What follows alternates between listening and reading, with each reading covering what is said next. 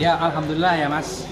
Eh, Kantor Panahan Kabupaten Pasuruan telah melaksanakan kegiatan bakti sosial ya. Ini adalah bakti sosial yang ketiga, yaitu donor darah. Alhamdulillah sekarang ini berjalan, ya, jumlahnya kurang lebih sekitar 35 orang. Semoga bermanfaat bagi kemanusiaan.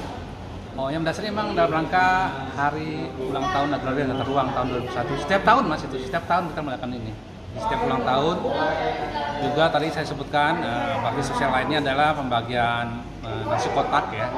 Eh, Berkah kemarin tanggal 24 September 2021 ke tukang beca tukang beca sekaligus juga kita santunan kepada panti asuhan di Kabupaten Pasuruan. Alhamdulillah berjalan lancar. Mudah-mudahan semuanya berkah. Masih dengan Chúa là vua Chính